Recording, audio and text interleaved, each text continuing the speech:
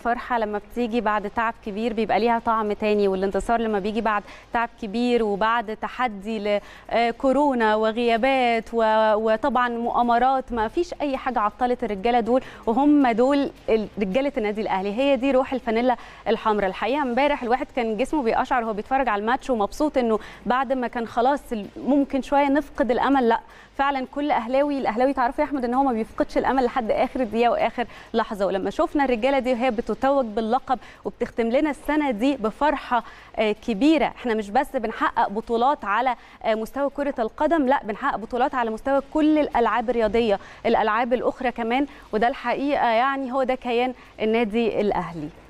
طيب خلينا بس نفكر حضراتكم برضو بسؤال حلقتنا اللي مكمل معانا إن شاء الله لغاية يوم السبت الجاي.